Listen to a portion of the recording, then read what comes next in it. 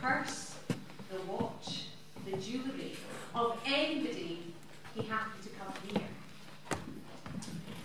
But one day, it was a lovely sunny Sunday morning, and he was walking up the Royal Mile to the castle.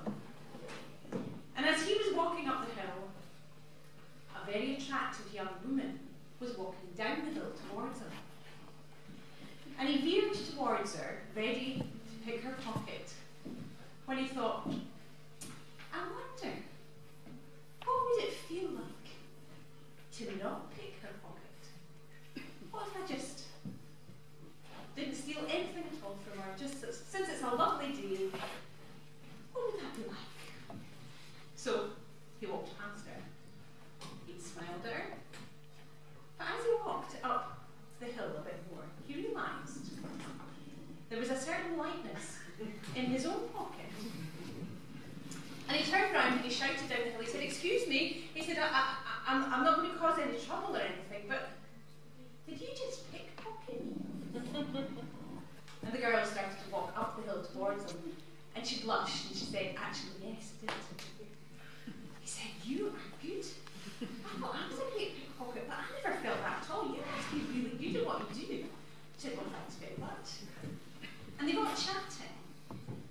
And then they found out that they had a lot in common and, and they quite liked each other, so they started going out together.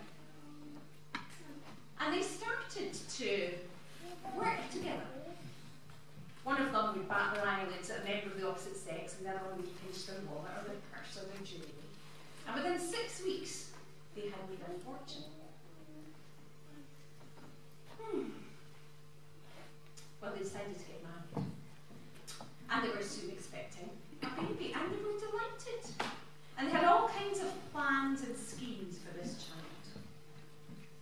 The man said, You know, with your genes and my chromosomes, we could train our child to grow up to be the best pickpocket that ever lived. We could train them for what he'll need. What do you think? So that was the plan. And the pregnancy went well, the time came for the child to be born. And the mum needed a wee bit of help with the baby coming out. And the midwife came, and the midwife left, and the baby was born, and everything was fantastic. There was only one wee thing.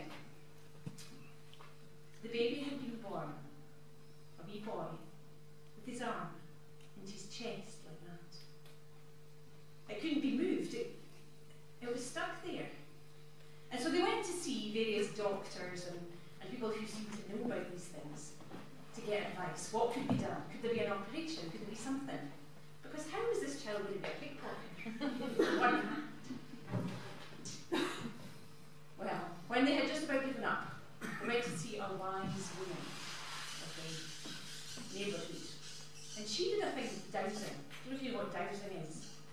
They get a wee bit of gold or something, and a bit of string, Sometimes people can tell all kinds of things and do amazing things. Well, this woman had something about her. The baby to her house. And then we said, well, lay the child on the table, let me see. And she got out her string with a bit gold on the end and waved it in front of the baby. And something amazing happened. The baby's arm started to move right away from his chest. The fingers started to uncover. And then there was a chink onto the table. Fell a ring. A gold wedding ring.